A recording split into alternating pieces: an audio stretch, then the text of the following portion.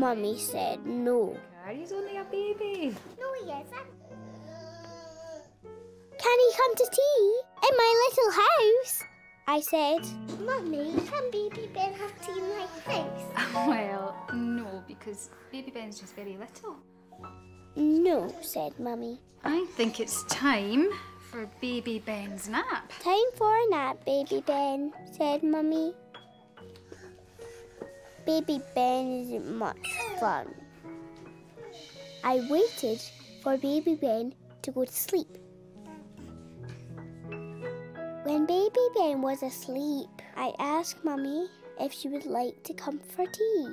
Mummy, would you like to come and have tea? No, sorry, Tig. I've just got a few things to catch up on before baby Ben wakes up. Mummy said no. Oh, I said, and played with my car. Beep, beep, beep. Shh, said Mummy. You wake baby Ben. Mummy likes the baby more than me, I said to Woolly. I could be a baby too, just like baby Ben. Tig. Shh, he's sleeping. I wish baby Ben would go away.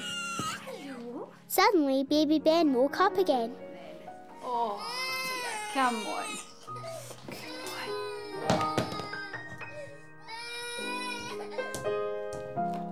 Tig. Tig, could you please move your toys? Mummy's grumpy, I said to Woolly. Hey, Tig. Mummy's not grumpy. Mummy's just busy with Baby Ben. Come on, we'll give her a hand. Clean nappies. We'll need one of those. Baby wipes. We need them to make Baby Ben nice and clean all over. Clean clothes for Ben. hey, Tig. And there's Ben's drinking bottle. Mummy will miss that. Off you go, Tig. Helping Mum's fun. Yeah, look what I found. Oh, thank you, Tig. Mummy was pleased. Mum, here, Mummy. Here's a nappy for Baby Oh. Ben. Clever girl. And because you've been so good, you can help me change baby Ben's nappy. Uh, because guess what? Can I help Mummy change baby Ben? Mum, here, Mummy. Here's the baby right Oh, thank you. Thank you so much. Mummy, here's, here's Baby Ben's trousers. That is so helpful. Thank you. We made him all nice and clean again. It's only my toy spider, don't be scared. I like helping Mummy. I like baby Ben too. I love Woolly. When I was little, I went shopping with my mummy to a supermarket. in your seat and you'll get a really good view.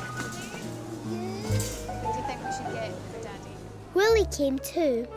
Does he really like chocolate? The supermarket was big. The supermarkets sold everything Iron boy. Ironing? ironing boards, toasters, televisions, washing machines. We didn't buy a washing machine. Mummy wanted food. I told Mummy where to find things carrots, a cabbage, potatoes, tomatoes, onions, A melon. a big melon, That's a heavy one. Oh, apples, oranges, bananas, I'll pop them in the back there. grapefruit, Two. Two. Yeah, let's get two. and a pineapple. The pink one. The pink ones. I didn't want to be in a trolley seat. out now, but what are you going to do? Tell me what you're going to do. Stay next to you. Stay next to me all the time. Good girl. Mummy said to keep close and hold onto the trolley. Can you manage? I help Mummy put things into the trolley. Milk. You're so strong. I think you. Mummy pushed the trolley past lots and lots of toys. saw a fire engine.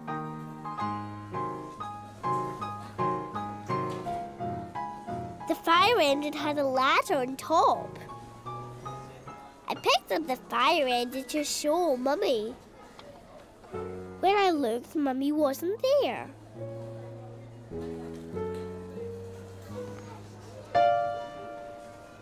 Tig, I ran down all the shelves and looked round the corner. Mummy wasn't there. Where was Mummy? I looked down some more shelves and some more shelves. No Mummy. I thought Mummy had left me. Mum, where are you? I thought I was all by myself. Then I saw Woolly. Hi, I've lost my daughter. We're just in the toy section. Woolly hadn't left me. Hey, Tig, Mummy hasn't left you, and Mummy hasn't run away. Mummy will be looking for you right now. Mummy loves you. Mummy will be just as worried as you are. You've just lost each other for a moment, that's all. When you ran up that way, Mummy was just behind you. When you turned the corner, Mummy didn't know which way you'd gone. You both keep moving around and missing each other. What a laugh! So the best thing for you to do is stay in one spot, here by the fire engines and me. Mummy will tell the store people and they will find you in no time. So we'll stay here and Mummy will come round the corner any minute. I waited in the one place, Tig! and Mummy came round the corner. I was so happy to see Mummy. Very much. Woolly had a ride. The man was surprised to see Woolly. I saw a toy spider. Right, off we go. I love my mummy. I love Woolly. The next day, Mummy took me to the hairdresser. Who's next? said the hairdresser. You coming over? Have a seat. I jumped into the seat. The hairdresser picked up a big pair of scissors. Uh, no, I want my butt sheet. I didn't like the scissors. I wanted my bunches. Do you want to come over, Brendan? I didn't want my hair cut. Hey, Tig, those scissors might look a bit scary, but don't worry. Cutting hair doesn't hurt. Snip, snip, snippity snip. Look at Brendan. Brendan doesn't mind having his hair cut. He loves it. Snip, snip, snippity snip. And look at the hairdresser. He knows just how to use the scissors so they're safe. Tig, I know how you feel about your bunches. But having your hair cut doesn't mean you can't have bunches again. They might be a little smaller, that's all. But hey, having your hair cut means no more hair in your eyes. Having your hair cut means less tangles. Having your hair cut makes you feel all shiny and new. Oh, I'm happy with my haircut, my happy, happy haircut. Go for it, Tig. Get your hair cut. You'll love it. Yes, I thought. I want to be all shiny and new. Nothing to worry about. I'll have my hair cut. Snap, snap, snap. No more hair in my eyes. Snap, snap, snap. No more tangles. I'm happy with my haircuts. My happy, happy haircut. Are you happy with that? Yeah. When the hairdresser saw Woolly, he wasn't happy. What's that? Only a toy spider. Oh, I like having my haircuts. I love Woolly. We climbed steps up a little hill. Timmy and Louise and Angel should be here soon, said Mummy. Goodness. From the top of the hill, we could see a ship in the trees. We made lots of noises. Timmy! Angel and Louise! Is there anyone there? When we stopped shouting, it was very quiet. We found some planks. We'll wait here, said Mummy. Timmy, Louise, and Angel will be here any minute, so why don't we wait here for them? I didn't like waiting. It was quiet, very quiet. I didn't like the quiet. Hey, Tig, the quiet can be boring, and the quiet can be scary too. The quiet can make you think there's nothing there. But the quiet isn't quite as quiet as you may think. Shh. You just have to listen a little more. And when you listen, you can hear lots of friendly sounds. A bird singing. A pigeon cooing. A dog barking. Woof woof. Leaves tinkling in the breeze. A twig breaking. That's your mummy.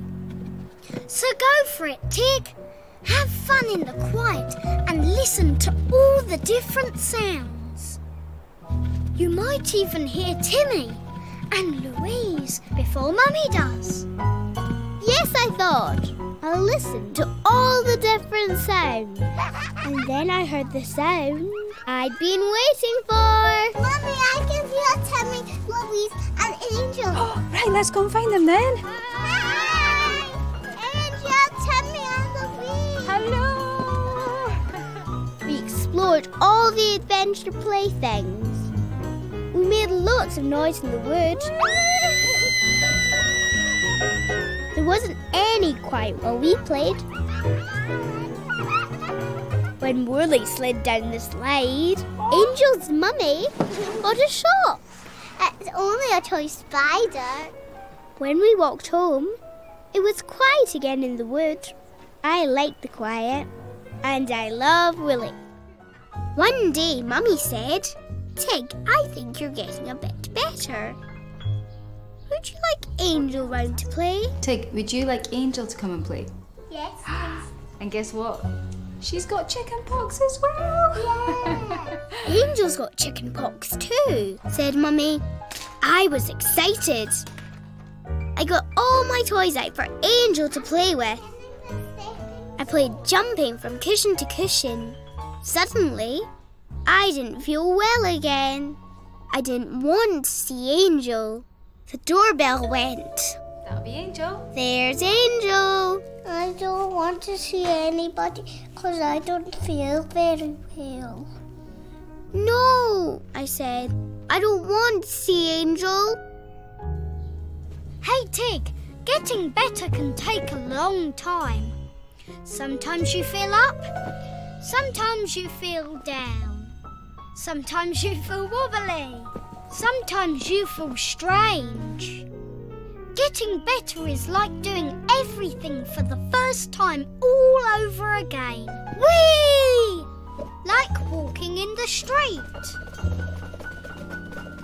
Or going back to school. Or seeing Angel again. But every time you do something new again, you'll feel a little bit better. So go for it, Tig. Say hi to Angel. It'll make you feel like your old self again. Yes, I thought. I want to be my old self again. You've got spots. I want to see my friend. I want to get better. Angel and me played. When Mummy saw Woolly with spots, It's only a toy spider. I like getting better. I love Woolly. When we got to the station, we played sliding doors. No more playing, said Mummy. But me and Angel were having fun. Then Mummy stopped us. She stood between us, so we couldn't play. Come on, said Mummy. Going underground wasn't fun anymore. The subway train wasn't exciting. There was no magic.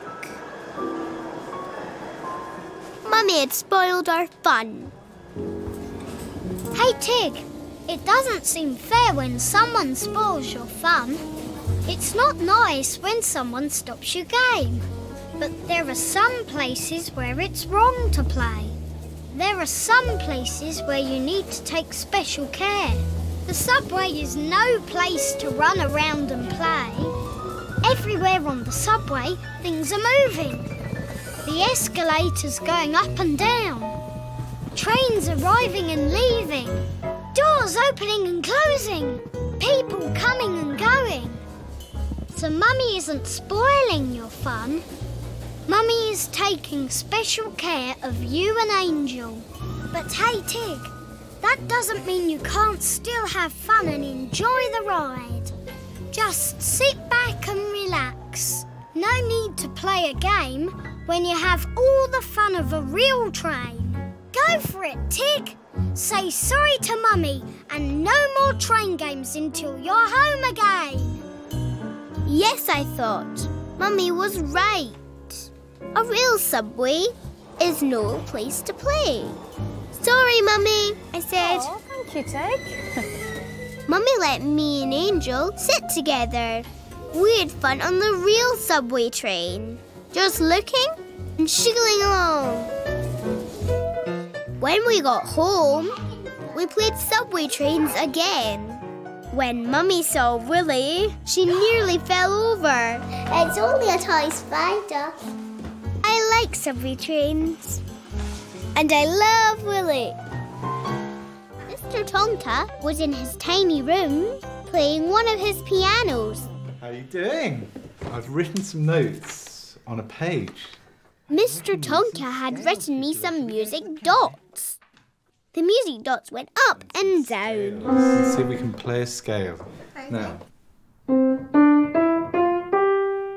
to try that? I play the notes up like the dots. That's great. Okay. I didn't want to play the notes one by one anymore. I played the notes all together like Mr. Tonka. Take this Next time, next week? said Mr. We're Tonka, to we'll give the name notes of names. When I went for my piano lesson again, Mr. Tonka was very excited. Hello. Come and sit down. Look what I've been doing for you. He had pictures for the notes an apple, a ball, a cat. See if you can play the apple note. Play me the apple notes, said Mr. Tonka. I didn't want to play the apple notes. I played all the notes, like Mr. Tonka. I've just got to go. Mr. Tonkin left. Tig, you have to listen to what Mr. Tonka asks you to do. I know how to do the piano. No, I said. I want to play all the notes together. I played some more, but the notes didn't sound quite right. Hey, Tig. Whee! It might be fun playing all the notes together, but some notes don't sound nice together. Some notes sound better by themselves. If you play each note by itself, you can play a tune. Half a pound of tuppenny rice, half a pound of treacle. When Mr. Tonka plays the piano, it might look like he's playing all the notes, but Mr. Tonka plays only the notes he needs. Mr. Tonka listened to his teacher and learnt what notes to play. Go for it, Tig! Whee! Listen to Mr. Tonka and learn how to play the piano. Yes, I thought. I want to learn to play the piano. So I'll listen to Mr. Tonka and do what he tells me. When Mr. Tonka came back, he told me how to play a tune. We played the tune together. One, two, three,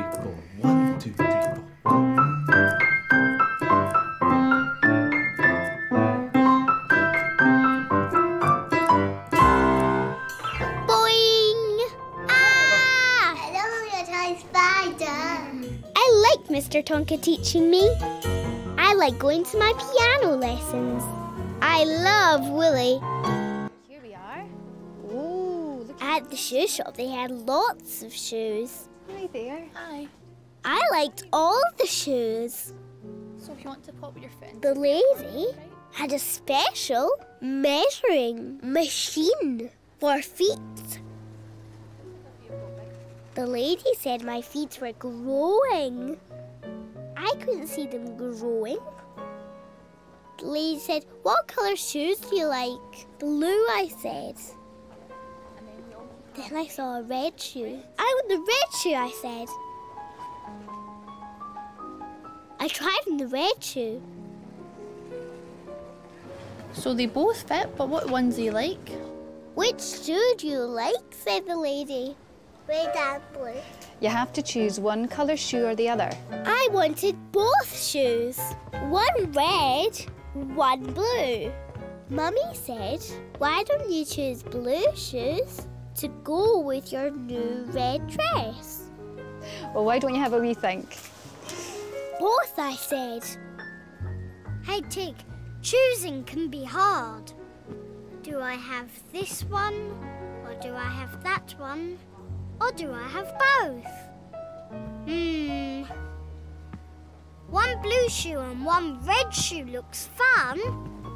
But when you buy shoes, you buy them in pairs. Two shoes together, two shoes that match, two shoes the same colour. So you have to choose. Two blue shoes or two red shoes. Mmm.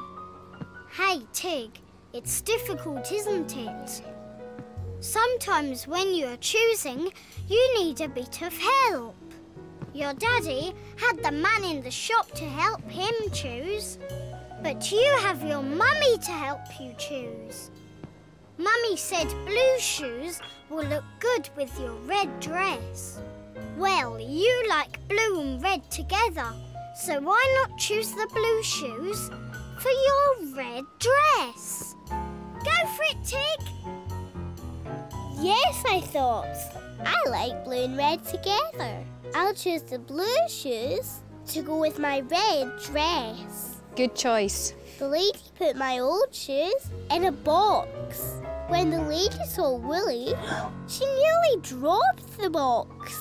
It's only a toy spider. Trying really hard. On my way home, I played no stepping on the pavement cracks in my new blue shoes. I love Woolly. Hey, Tig! I love